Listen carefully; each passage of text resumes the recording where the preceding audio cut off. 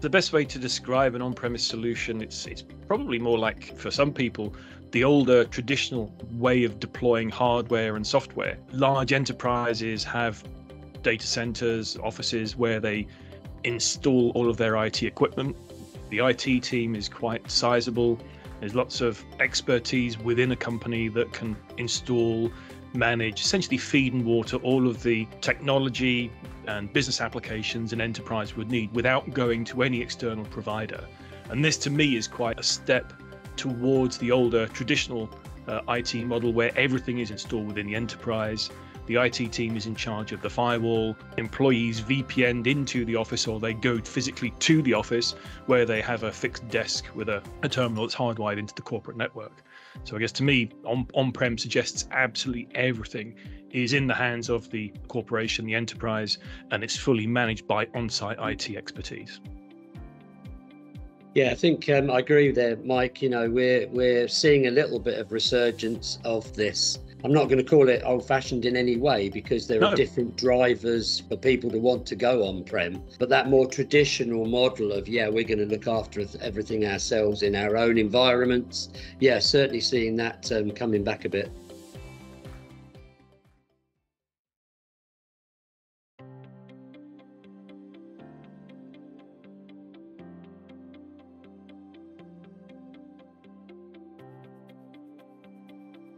Historically, there with this we call it traditional IT model, where everything is installed on premise. The the drive to move to the cloud was because the perceived costs the cost models were, were far more beneficial than hosting. The need to swap out equipment as it reached its age, you know, I think the, the average age with an IT asset is three years before it's written off or it, is, it depreciates significantly in value. There was more flexibility because we all moved to a roaming workforce. You know, we're often seen working from the airport departure lounge, from a Starbucks, from a, any kind of remote location. You know, we're all working from home today. Cloud gives you far, or was perceived to give you far greater flexibility. You know, all of the redundancy was taken care of. Your data went to the cloud, and the cloud provider provided you with a good SLA and all of the resilience to ensure that your data was secure. And I guess there's been, up until the last five years or so ago, a drive to the cloud for those reasons. Whereas now, as, as Adrian says, we're seeing something of a resurgence of the return to on premise because with the cost of energy these days, uh, we are seeing a rising costs uh, or a rising cost, I should say, for cloud providers. There's not so much some enterprises can do for customization. So if you've got bespoke requirements, that doesn't fit very well with cloud providers as such. There are some perceived security issues. We need to be real. We live in a world there where there are bad actors and they do target cloud providers. And there have been breaches noted. And for some, the, the, the, change to move back on prem comes from regulatory compliance. Your data must be in your control, it must be physically in your country, nay, in your data centers. So there's, I guess, reasons there's lots of compelling reasons to go to the cloud i'm not saying people are not doing that at all far from it but there is a new place in modern it where on premise makes sense for some versus cloud making sense for, for others yeah, and that kind of split is is, is well seen. Picking up on your point of, of sovereignty, that's a definite drive that we're starting to see to push people towards the more on-prem approach. In terms of cloud, I, I, I, agree with you. I think maybe some companies looked at cloud to be a massive cost saver over time, and I'm not sure that they've necessarily found that. So, cost is also playing into what people are doing.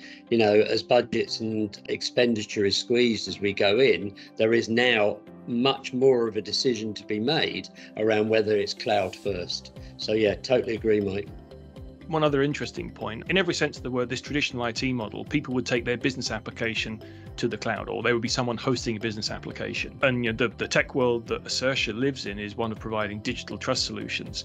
And there are very big providers in that space, uh, and we supply technology to those providers because, unlike managing an office environment, an exchange or a messaging environment, the skills required to operate high digital trust solutions are not as in abundance. There's a, a, worldwide IT security shortage right now.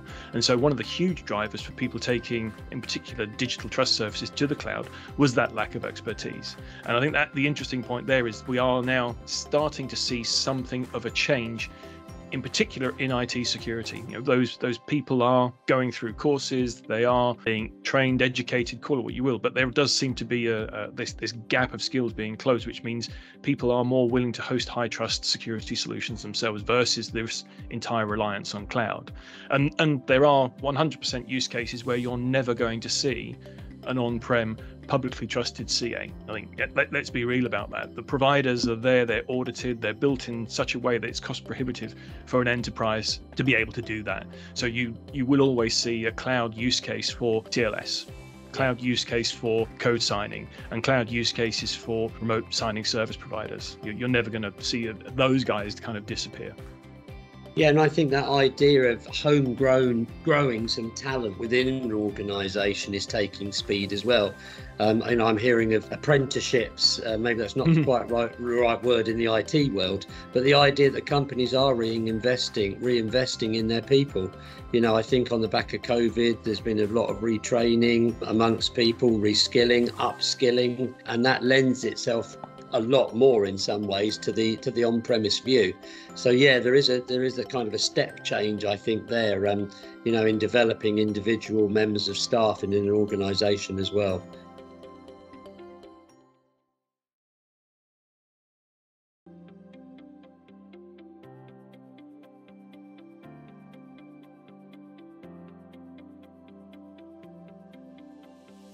So I, I don't think you can categorize any given organization. The technology is used everywhere. Let's face it. I mean, it's used around the home to secure applications accessing the cloud. It's used in apps on your smartphone.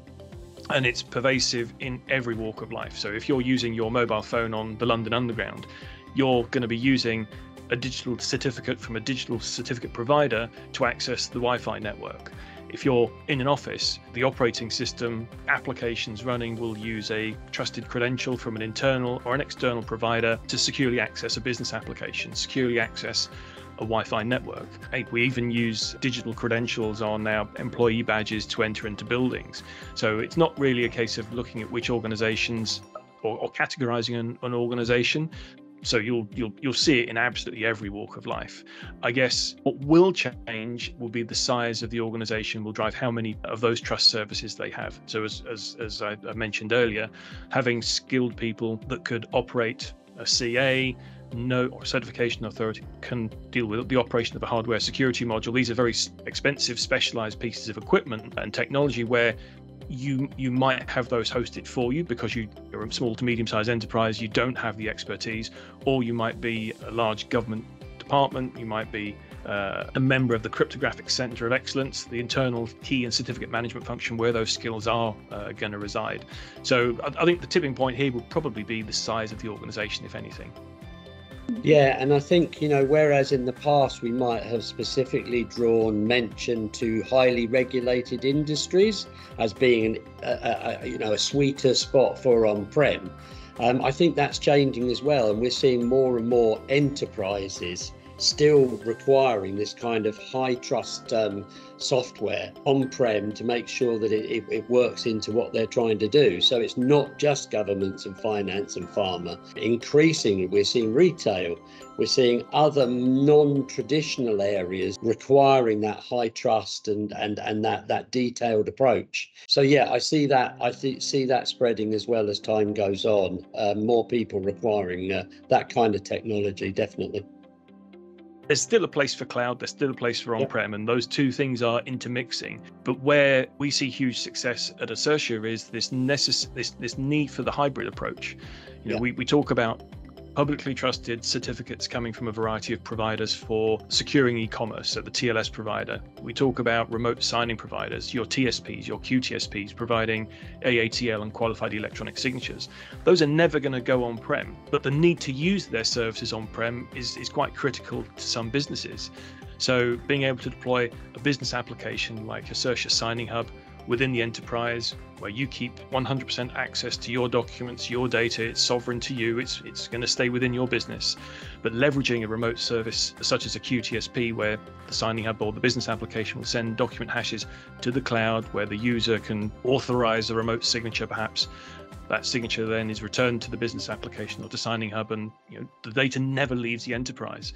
So there's this uniqueness of having this hybrid approach, the most flexible deployment options that our products bring to the market is is is quite key. And I think it's very interesting to mix those or mix the on-prem and cloud provider use case in that scenario. Yeah, and I think you know we're one of the very few suppliers around the world that can offer those three use cases. Okay, so on-prem, or in the cloud, or some kind of hybrid approach. And you know that's a great strength for our customers as they evolve in their journey, where they might want to move from cloud to on-prem, or maybe the other way around. We have the expertise, you know, and kind of past history to be able to help them with that. And so, yeah, very important that those three those three deployment cases can be covered by by Ascertia.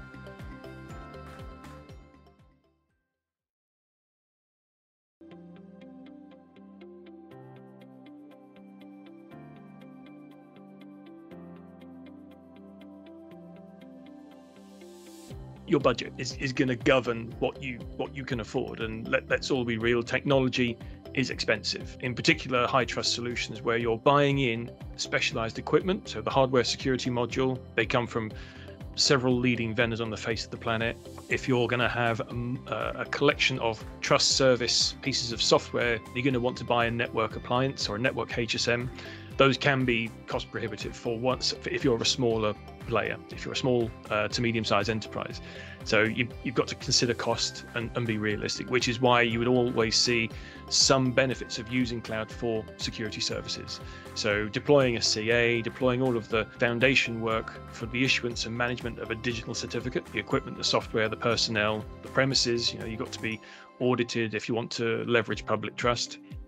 And then if you're a small smaller player, a smaller enterprise, yeah, you would uh, leverage a cloud provider. But you know, as, as you edge towards the larger businesses that have more budget and have more expertise in house, you might start to see people, not just for regulatory reasons, but wanting more control and wanting to bring applications like digital trust, digital trust solutions in house.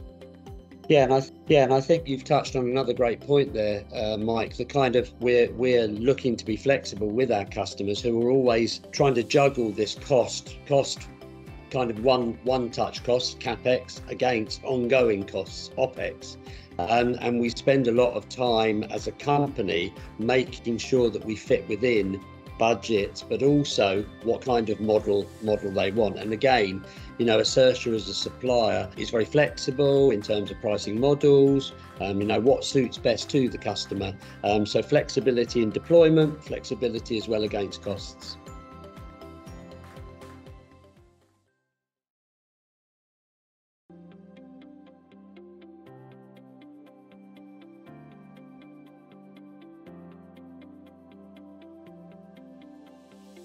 For me, definitely cost, security, that, that all important.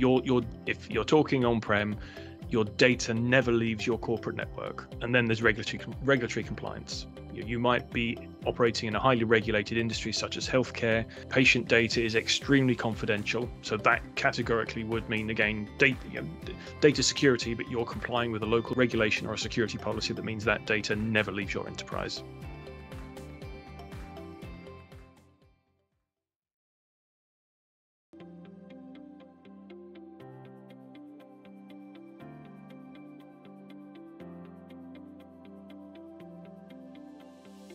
We live in a very fast moving world the internet and technology is is evolving at an extremely rapid rate you know we've we've done many Ascertia on sessions and many podcasts where we talk about the rapid rate of change. We've seen technology evolve and use cases evolve enormously through the pandemic. That that brought many more digital use cases into our lives. You know, this whole buying food and, and shopping online, electronically queuing for places to buy tickets, to buy produce, but to buy products, all the way through to the world now recovering and healing itself from the tragedies of the pandemic.